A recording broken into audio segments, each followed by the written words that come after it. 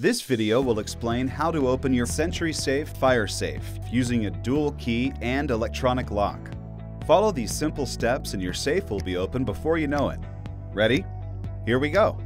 To operate your safe for the first time, you may need to remove the shipping screw located on the inside of the door. Then, remove the keys and install batteries. For additional assistance, watch our how-to videos explaining these tasks. To open your safe, make sure the handle is positioned upward in the horizontal position. Insert the key into the lock.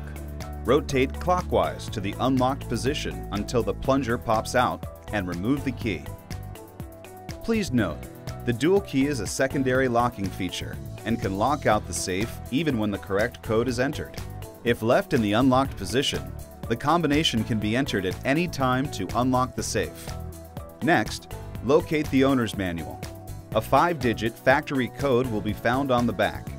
Enter the 5-digit factory code on the keypad. This safe is set to 8, 2, 5, 1, 9. A green proceed light will indicate the code is correct, and you'll have 4 seconds to rotate the handle downward to the 7 o'clock position and open the door. Be sure to test the code several times with the door in the open position prior to closing and locking your safe. To lock your safe, close the door and pull the handle upward to the horizontal position. Check the door to ensure the safe is securely locked. For additional how-to videos, please visit SentrySafe.com.